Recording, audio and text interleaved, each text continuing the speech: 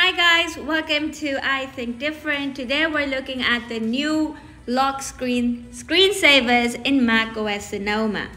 Now in the settings app, there are 22 new wallpapers with a little play button which shows that these wallpapers can be used as the new lock screen. They're animated, they're beautiful, and they bring a completely new lock screen experience to Mac. All you have to do is click on the wallpaper you think you like for your screensaver and then pick the one you like the most. This is an incredible new feature and elevates the whole macOS experience. Here are a few in action. I hope you like them.